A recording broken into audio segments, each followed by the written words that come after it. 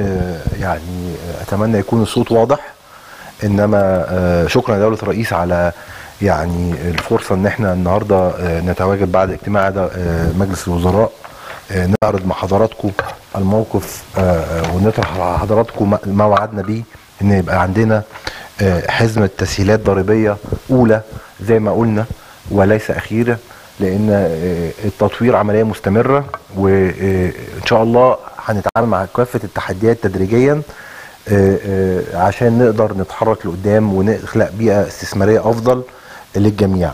آه، زي ما عرضنا قبل كده إحنا هدفنا واضح جدا، هدفنا منظومة ضريبية فيها ثلاث محاور أساسية فيها وضوح ويقين الناس عارفة بالظبط واجباتها والتزاماتها عندهم بساطة وسهولة في التنفيذ وعندنا خفض الأعباء قدر المستطاع عشان نحافظ على تنافسية البيئة الاستثمارية في مصر. دي المنظومة الضريبية وده ال- التسهيلات الضريبية اللي إحنا جايين بنتكلم عليها هي الأولى والمؤكد مرة أخرى على الأولى إنها آه، آه، إن شاء الله تساعدنا في تحقيق هذا الغرض بقوة. إحنا كنا هنا من من من أقل من شهر في 11 9 وكنا آه، يعني كنت بشرف إن أنا أبقى واقف جنب دولة الرئيس وبنعلن هذا الأمر وأعلنا ملامح أولية.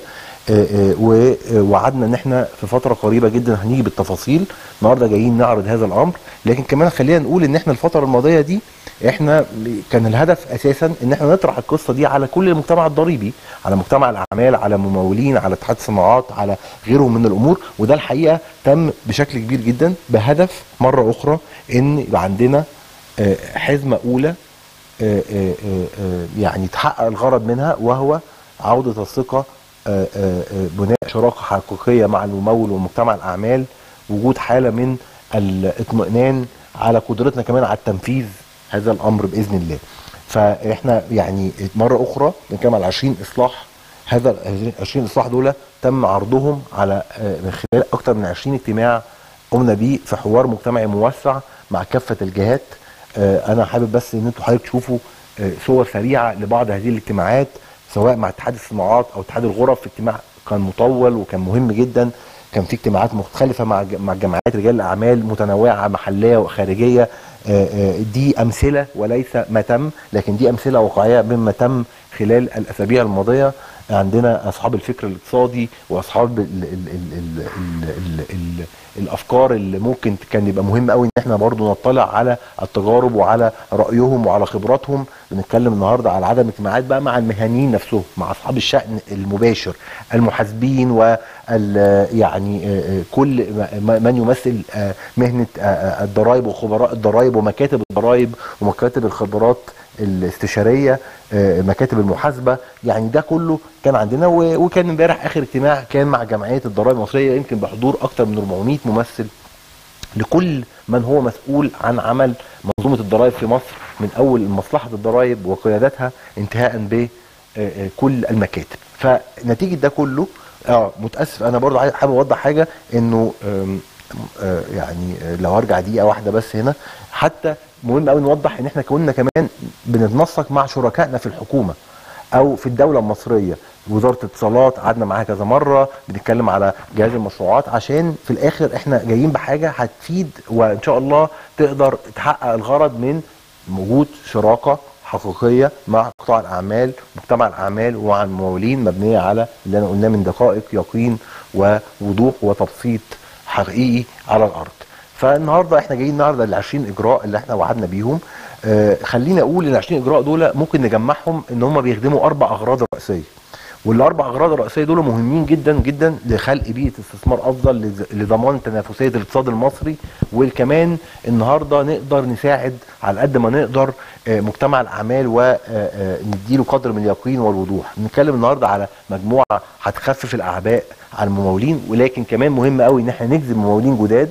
ندخل معانا جزء من الاقتصاد غير رسمي ندخل معانا جزء من ال- الممولين اللي عندهم رغبة حقيقية إن هم يشتركوا في القطاع الرسمي ويستفيدوا ويكبروا وينموا. بنتكلم على إزاي نقدر نوفر سيولة ومسانده سريعة للممولين تقدر تساعدهم على النمو وعلى إن هم يكبروا وإن هم يحققوا آه، آه، يعني أكبر قدر من آه، زيادة الإنتاج والإنتاجية. بنتكلم على إزاي نبسط الإجراءات ونوحدها. ما يبقاش كل حد ممكن بيتعامل باكتر من معاملة وبنتكلم على حاجات عموما ضرورية لإنهاء ملفات قديمة ونزاعات ممتدة لسنوات طويلة جدا بتجرنا لورا والنهاردة عايزين نطلع لقدام. عندنا منظومة ميكنه عايزين نتحرك بيها لقدام في حاجات كتير قوي شدانا لورا. إن شاء الله هننهيها بشكل كامل وبشكل طوعي. ده حاجات هتبقى طوعية الممول والمستثمر يقدر يستفيد منها وي- وي- ويتحرك من خلالها. لو بدأت بال... بال... بالإجراء الأول وهو إجراء مهم جدا هو إحنا ما كانش عندنا في مصر منظومة ضريبية للمنشآت الصغيرة ولا لريادة الأعمال ولا لكل من هو يعمل في مصر تحت 15 مليون جنيه. ما كانش موجود هذا الأمر. كان موجود عندنا بعض الحوافز الضريبيه في آه، قانون المنشآت الصغيرة اللي كان بيشرف عليه الجهاز المشروعات الصغيرة ما كانش عندنا في من- في- قانوننا في الضرائب منظومة متكاملة. النهارده بقى عندنا منظومة كان متكاملة جاهزين بيها. إن شاء الله آه، هنتقدم لمجلس النواب بيها وهي جاهزة بكل الصياغات وتم مراجعتها. آه، يعني يتوقف عليها رتوش صغيرة جدا للمراجعه في مجلس الوزراء يمكن الأسبوع القادم ثم نبعتها بإذن الله لمجلس النواب إن شاء الله للمناقشة والاعتماد. النهارده يبقى عندنا منظومة متكاملة بتخاطب كل أنواع الضرائب مش بس ضرائب الدخل بتتكلم كل أنواع الضرائب كل أنواع الضرائب والرسوم اللي بتشرف عليها وزارة المالية بتقدم مميزات هائله وحوافز كبيرة جدا بتخاطب كل أنواع الشركات وكل سواء الشركات الفردية أو الشركات القائمة. بتتكلم الجديد واللي جاي بتتكلم على القديم وهوري دلوقتي حضراتكم إيه اللي بتقوم بيه. دي مجموعة أو ملامح الأساسية لهذا البرنامج. أو لهذه المنظومة. بنتكلم على إعفاء كامل من ضرائب الدمغة ومن رسوم الشهر والتوثيق. بنتكلم على إعفاء كامل من ضريبة الأرباح الرأسمالية ومن ضريبة توزيعات الأرباح لكل شركة في مصر. حجم عملها حتى 15 مليون جنيه. بنتكلم من إعفاء من تطبيق نظام الخصم أو الدفعات المقدمة عشان نديهم سيولة يكبروا. دي في مرحلة دي شركات عايزينها تكبر وتنمو وبسرعة جدا تقدر آه، توصل لأرقام ربحية وحجم أعمال أكبر بكتير. بنتكلم على إن إحنا حاجات تانية مهمة جدا. بنتكلم إن إحنا مضافة بتتقدم كل شهر. إحنا هنطلب منهم يقدموها أربع مرات في السنة عشان نيسر وهنعمل لهم إقرار بسيط جدا. لا يتعدى كذا صفحة بسيطة جدا. وهنساعدهم على تقديمه وهنديهم الخدمة إن هم يقدموه بسهولة ويسر دون أي مقابل. بنتكلم على إن إحنا النهارده حتى لو حد عنده شركة وعنده خمس أو ست أفراد يستحق عليهم ضريبة مرتبات حتى هذه الضريبة مش هنطلبها شهريا زي كل الشركات. هنطلبها مرة في السنة مع التسوية السنوية اللي بيعملوها عشان ما يبقاش عليهم عبء إن هو يجيب بقى مكتب محاسبة ويبقى عليه تكاليف كبيرة في هذا الأمر. بنتكلم إن إحنا النهارده شهادة الميلاد بالنسبة لنا ليهم هو يوم ما يجوا يسجلوا عندنا. ومش هنبص في أي حاجة ورا. مش هنرجع لورا. هو جه سجل. مش هنسأله بقى على كان فين وكان بيعمل إيه. خلاص ده بدايته معانا. وبنتكلم على حاجة مهمة جدا جدا جدا. إن إحنا لبناء الثقة إحنا لمدة خمس سنوات هنقبل كل اللي يقدمه ولن نفحصه. إحنا هنثق فيه لغاية ما هو يقدر يكون وإحنا هنفضل نثق فيه لكن إحنا هنديله مساحة إن هو يقدر برضه يعرف ال- السيستم ويعرف المنظومة ويعرف إيه المطلوب. وهنقدم كل خدمات الدعم زي ما قلت بدون مقابل. فده لأول مرة منظومة متكاملة بتخاطب كل أنواع الضرائب وليس نوع ضريبة واحدة. ونيجي على آخر حاجة ضريبة الدخل أو ضريبة الأرباح. إحنا آه، آه، مدينا أو زودنا ال 15 مليون زي ما قلت وقلنا ضريبة مقطوعة سهلة جدا مش محتاجة خلاف ولا محتاجة تباين ولا إن حد في المأمورية يقول له إيه اللي عليك ولا إيه اللي ليك ولا اخصم لك إيه ولا أحط لك إيه. قصة بسيطة قوي عنده حجم أعمال لقيت رقم معين بيدفع 1000 جنيه. عنده رقم أعمال لقيت 500000 جنيه هيدفع 2500 جنيه. خلاص وياخد رقم يدفع الرقم ده يبقى عنده مخالصه من الضرائب. حتى لو عنده أرقام أعلى هناخدها نسبة من الإيراد. على الرغم من إن الصح إن دايما يبقى الضريبة نسبة من الأرباح لكن حتى لل- للفئة الصغيرة دي عشان ما نخشش في فكرة آه، مصروفات وايه اللي يتخصم وايه اللي يتسدد وإيه كده بنبسطها جدا. الإيراد مفيش خلاف عليه ما بين المصلحة وما بين الممول. فأي حد عنده هذا النشاط حتى 15 مليون جنيه يقدر يستفيد من هذا الأمر وإن شاء الله بنوقع بروتوكول تعاون مع جهاز المشروعات الصغيرة ومع وزارة الاتصالات وغيرها لأن ده بيخاطب ناس كتير قوي بيخاطب الفريلانسرز أو ريادة الأعمال والأنشطة الجديدة والشركات الناشئة وبيخاطب أي حد بيفكر في مشروع صغير وعايزه يكبر وعايز ياخد تمويل وعايز يصدر. دي بتخاطب حاجات كتيرة جدا جدا وبتخاطب كمان مجتمع الأعمال الصغير وبتخاطب كمان القطاع الغير رسمي اللي حابب جدا وإن شاء الله نشجعه إن هو ينضم ويستفيد من الحوافز دي وحوافز غيرها كثيرة. كل ده جاهز تشريعيا لأن إحنا محتاجين كنا نحط منظومة ما كانش عندنا في الضرايب منظومة متكاملة لكل هذه أنواع من الضرايب فده كان حاجة مهمة جدا. نتكلم النهارده الحمد لله برضو ويعني اختبرنا هذه المنظومة الكترونيا بنطلق منظومة إلكترونية للمقصه ده موضوع مهم جدا جدا جدا. النهارده أي ممول في مصر ممكن يبقى له مستحقات عند الدولة دعم صادرات. مع الوزير هيشرح الموضوع كمان شوية على منظومة مساندة الصادرات. ممكن يكون له مستحقات عندنا كمقاول أو كعميل بيورد بعض المنتجات. ممكن يكون عنده مستحقات لينا رد ضريبه قيمة مضافة أو عنده رصيد دائم دفع ضرائب وعنده رصيد دائم في الضرائب. يقدر النهارده خلال هذه المنظومة يستغلها ويستخدم هذه الحصيلة أو هذه المبالغ التي يستحقها لتسوية إلتزاماته. يقدر يسدد بيها ضرائب يقدر يسدد بيها أنواع ضرائب متنوعة يقدر يسدد بيها التزامات أخرى عليه للدولة. وهنتوسع فيها تدريجيا. هنبتدي ببعض الأمور ثم نتوسع فيها تدريجيا بعد ما نطمن. وهو صاحب القرار. هو اللي بيخش يشوف رصيده وبيقرر عايز يوديه فين. فعشان كان ده يتم كان لازم يبقى فيه ربط إلكتروني ما بين الجهات دي عشان تقدر تتم. عشان يقدر النهارده ما يبقاش حد عليه غرامات. هو ده إيه الفكرة في ده؟ إن هو بقى لما هو يبقى عليه التزامات وبتحول عليه غرامات وغرامات تأخير يقدر يستغل هذا الأمر وبسرعة. بنتكلم النهارده حاجة شديده الاهميه النهارده كان واحدة من المشاكل الهائلة وإحنا بنحل أي مشاكل قديمة أو أي نزاعات إن كان ممكن يبقى أصل الضريبة المستحق اللي كل الناس مت- متفقة عليه سواء الممول أو المستثمر أو مصلحة الضرائب أو أي جهة أخرى في المصالح عندنا إنه كان يبقى متفقين على أصل الضريبة أو على إيه المطلوب لكن كان في غرامات هائلة. ممكن تبقى ممتدة لسنوات طويلة جدا. خلاص هنعمل سقف للغرامات ما تعديش أصل الضريبة. لكن كمان مهم وده شيء ضروري يعني وأنا بعتبره واحدة من أهم الإجراءات إنه كمان الممول والمستثمر يبقى عليه التزام ضريبي من ساعة ما نختاره وليس من سنة الفحص. يعني أنا النهارده ما أجيش أفحص حد بعد خمس سنوات ويطلع عليه فوق فحص منطقية جدا وهو قابلها. فاجي أقول له ان انت عليك غرامات من سنة اللي انت فحصتها اللي هي من خمس سنوات. أنا اللي اتأخرت أو أنا اللي فحصته في الوقت القانوني وبالتالي هيبقى عليه اي ضريبة مستحقة أو اي غرامات منذ تاريخ اختاره بهذه الضريبة وليس في سنة الملف. وهنحط سقف للغرامات. خلاص يبقى اخرنا هذا الرقم بحيث نقدر ما ما يبقاش فيه نوع من يبقى عارف اولا الممول يبقى عارف يقينا إيه اللي عليه وعارف إيه آخر حاجة ممكن تبقى آه، آه، آه، تطلب منه.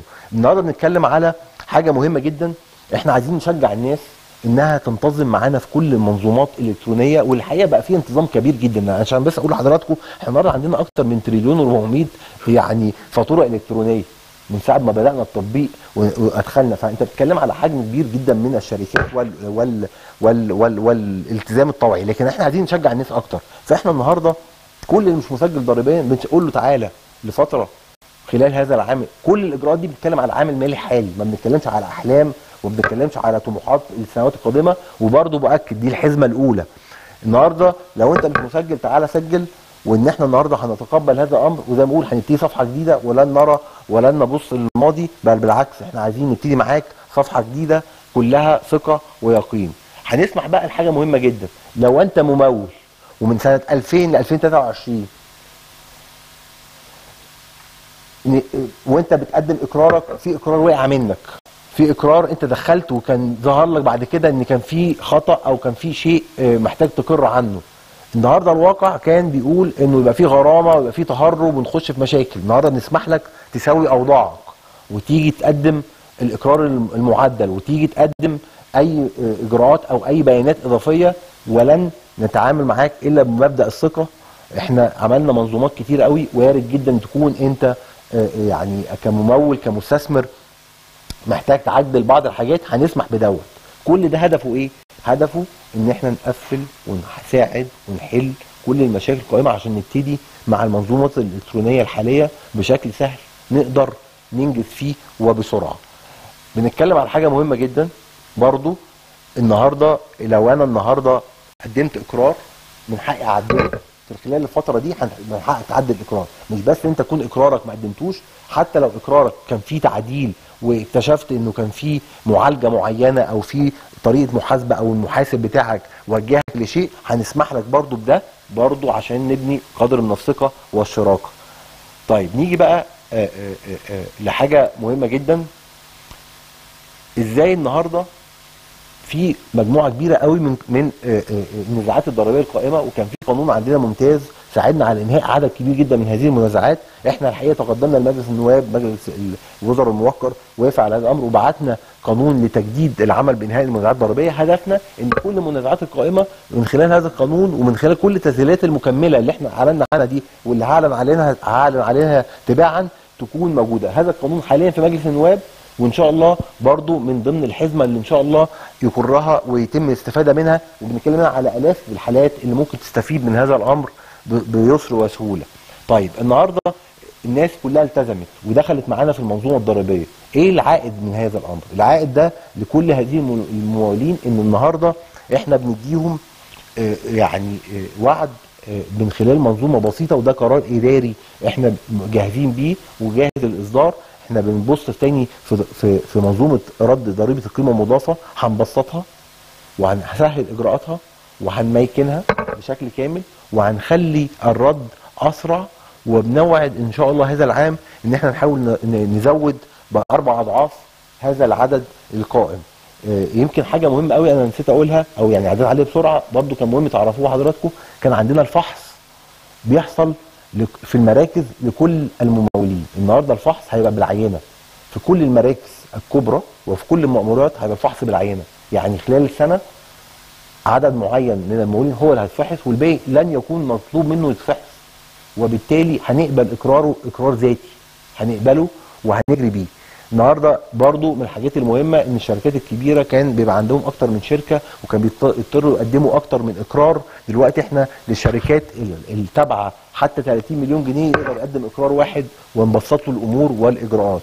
أنا بحاول يعني طبعا العرض ده هيكون تحت نظركم وهنسيبه لحضراتكم بس أنا بحاول ادي حضراتكم فكرة عن هذا عن كثير من الأمور اللي ممكن تعمل نقلة كبيرة قوي. كان واحدة من المشاكل اللي بتقابل كل الناس عندنا عندنا قطاع مهم قوي في مصلحة الضرائب اسمه قطاع البحوث هو اللي بيطلع الأدلة بيطلع الآراء الفنية. النهارده إحنا بنخلق لهذا القطاع زي مجلس اداره بنخلق له يعني مجلس استشاري من قامات كبيرة جدا محايدة.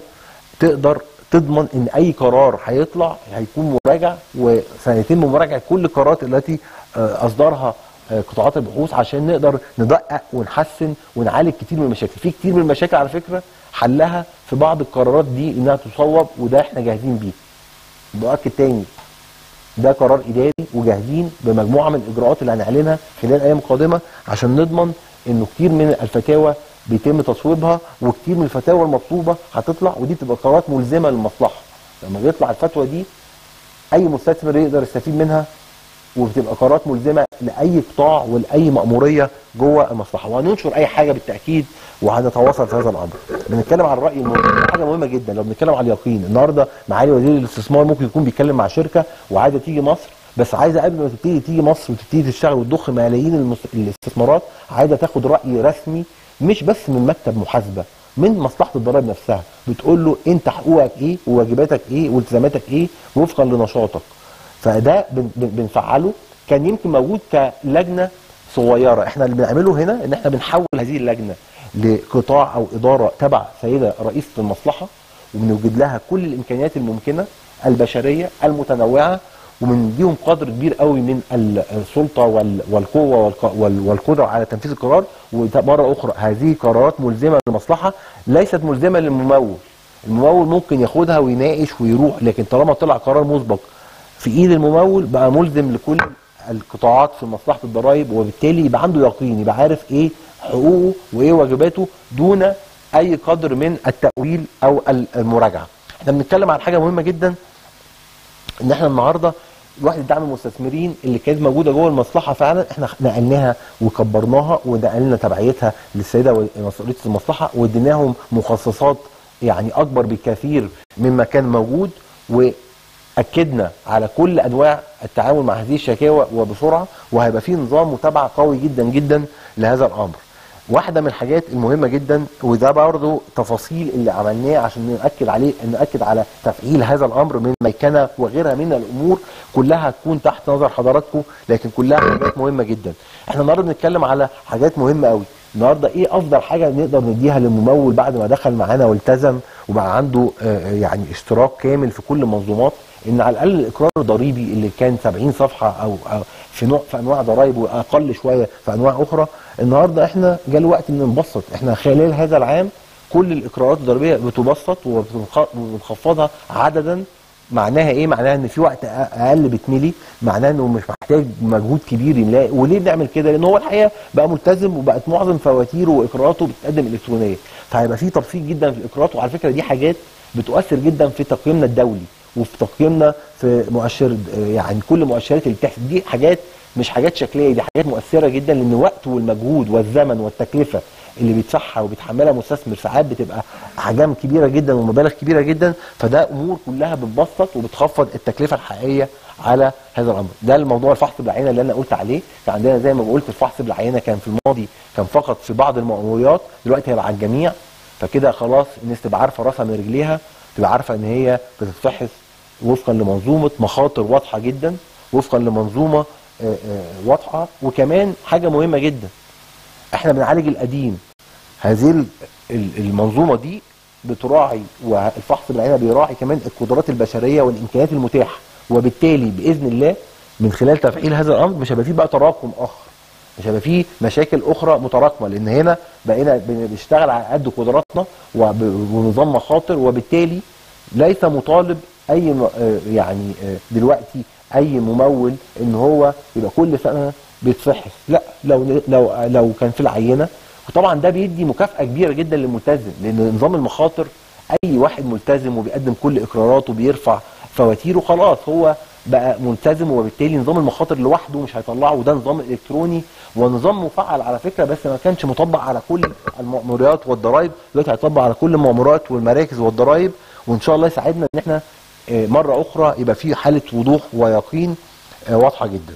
إحنا بنتكلم النهارده على حاجة برضو من الحاجات المهمة موضوع الفحص اللي كان بيخلق لنا نزاعات. ما أنا ما- أجيش أحل بس النزاعات وأسيب أصل المشكلة وهو الفحص اللي كان بيؤدي للنزاعات فنظام الفحص هيبقى واضح جدا.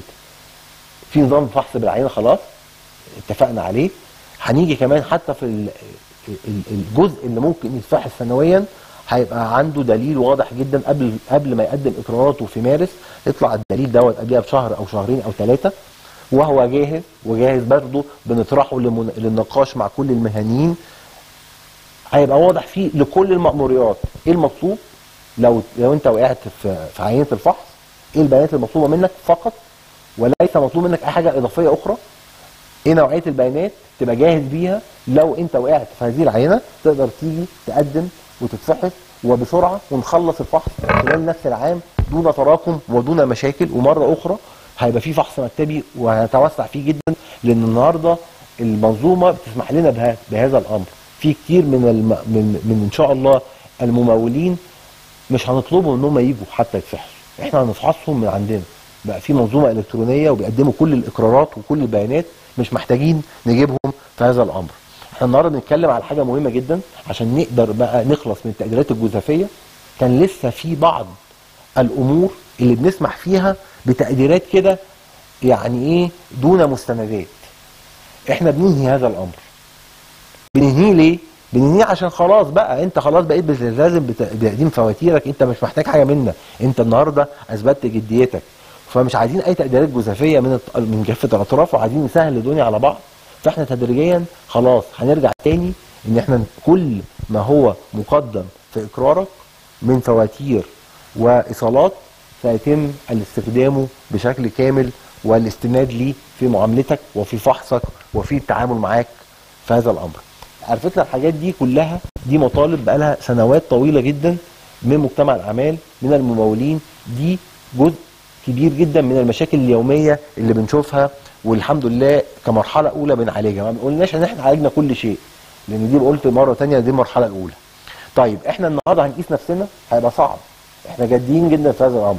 فإحنا بنوعد وخدنا إجراءاتنا في التعاقد مع أكتر من بيت خبرة محايد يقوم لينا باستقصاءات ومتابعة لما يتم من إعلانه من إجراءات وإصلاحات عشان نقيم نفسنا. لأن الهدف بسيط جدا. إحنا مش هدفنا غير إن الحاجات دي تنفذ بجدية ويحس بيها الممول والمستثمر بجديتنا في هذا الأمر.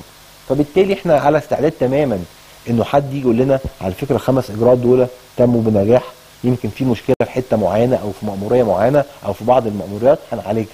ممكن حد يقول لنا لا ده محتاج شوية تفعيل مش مش جايب الأثر الكافي. ده شيء بديهي وهنعمله وهنستمر فيه وهنعلنه.